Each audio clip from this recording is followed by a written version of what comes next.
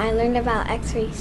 I learned about how we can take x-rays, how do the how do the x-rays work. During, during fellowship, um, a colleague and myself, we both had to give presentations to, to uh, our children's classes, hers being in preschool and mine being in grade school, and we pooled our interesting either human radiographs, uh, animal radiographs, object radiographs, of foods, for example, and we combined it together. And then once other people saw it, they wanted to borrow it, and so we decided to add in things from other places. We looked around for other sources of materials, and it sort of took off from there. Because sometimes X-rays uses radiation, which is uh, which is could be dangerous. I just want to make clear that it's just like radiation, just like fire. That you could use sometimes fire to go and roast your marshmallows, which obviously is a very good use of fire.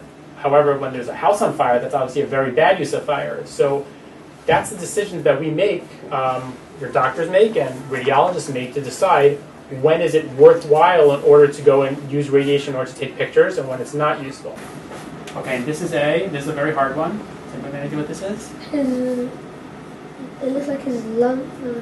Okay, so the lungs are higher up. The heart, that's the heart. They're kind of a biggish heart. That's like the belly or intestines. These stones are actually in the kidneys. Do it.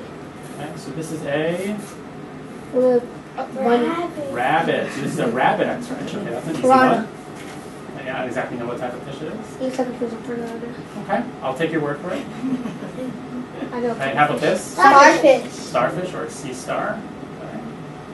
Okay. Good. Which toy from Toy Story? Uh, the Mr. tomato. Mr. Potato. Mr. Potato Head. Very good. So that's the potato, and then he has various parts stuck into him. Okay, there he is. I think the kit has, has been uh, useful to educate kids about radiology, particularly because as a radiologist, it's important for us to uh, let others know about what radiologists do, but also while we're doing it in, in an age appropriate manners, we want to sort of teach kids along the way um, exciting things or interesting things about their own health.